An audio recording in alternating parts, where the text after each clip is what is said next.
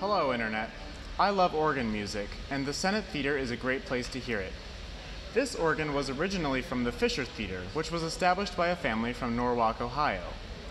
Its first performance was November 11, 1928, and ever since it's brought joy to all who have heard its melodies.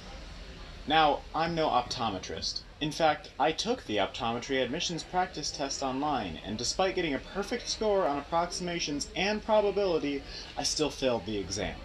Despite this setback, though, I still feel qualified to tell you that if you can't see the beauty in this organ, you need to get your eyes checked. That's a fun fact for you.